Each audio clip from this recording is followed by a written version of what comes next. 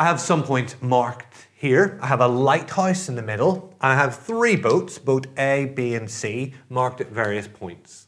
And I want to measure the bearing of each of these points.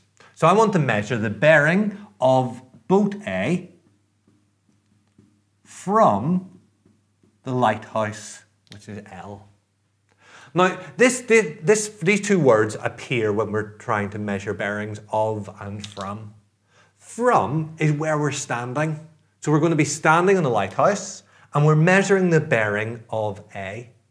So that's measuring how far we're turning from north to be able to find, to turn toward A. So at the moment, north isn't marked in my diagram. In a question, I'll normally have marked, we need to find out where it is. So I'm going to consider north as being straight up. So I'm going to mark north on my lighthouse. I'm going to get my ruler and I'm going to measure, or draw a line, sorry, from my lighthouse to my boat. So I want to know if I'm standing at my lighthouse facing north, I want to turn in the clockwise direction to face A. So this is the angle I'm trying to measure here. So I'm going to get my protractor and I want to make sure that north is zero degrees. So when I get my protractor, it's going to be facing in that direction like that with zero up here. I'm going to read around 0, 10, 20, 30. This is about 40 degrees. So that angle would be about 40 degrees. So the bearing of boat A from L is 40 degrees, but that fails one of our rules because there should be three figures. So if it's 40 degrees, I need to precede that with a zero. So it's zero, four, zero. What about boat B? I want to know the bearing of boat B from the lighthouse again. So from the lighthouse, that's where I'm starting. That's where I'm facing north. So I want to draw a line from the lighthouse to boat B.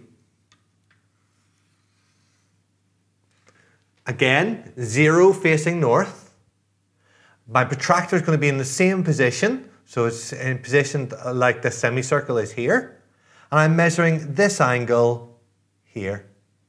So I measure out to the edge, so 0, 90 degrees. So it's going to be more than 90 degrees. It's an obtuse angle. It's going to be more than 90 degrees. And it might be, I don't know, maybe 130 degrees. So I'll say that's 130 degrees. Now, if you've got a protractor like I'm drawing here, a, a semicircle only goes up to 180 degrees. The third question might look a bit confusing. How do I measure the bearing of boat C from the lighthouse? Well, I'm going to do the same thing. I'm going to start at the lighthouse. I'm going to draw a line that goes from the lighthouse to boat C. Well, what am I going to do? Well, I know that 180 degrees will get me to face south. So south is 180 degrees. So I know that's 180. So what I'm going to do is I'm going to get my protractor and I'm going to put it on the other side. I'm going to start measuring this angle here. So zero's down here this time. So zero, that's maybe about um, 50 degrees. So the bearing has to be measured from north. Well, around here, I've got 180 degrees to get to south. I've got an extra 50 degrees to get to C.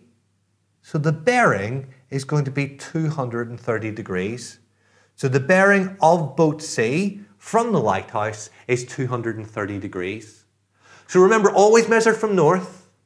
If it's more than south, if it's more than 180 degrees, start measuring from south and add that on to 180 degrees.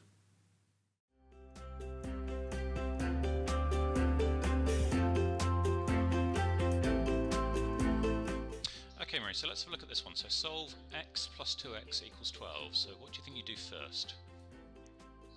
Okay, well, I want x on its own, so I would put x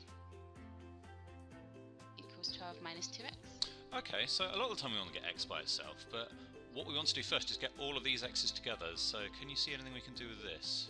Get all these together in one place. Oh, okay, it's 3x, isn't it? Yeah, so absolutely. 3x equals 12. Oh, and so x equals 4. Brilliant, spot on, well done.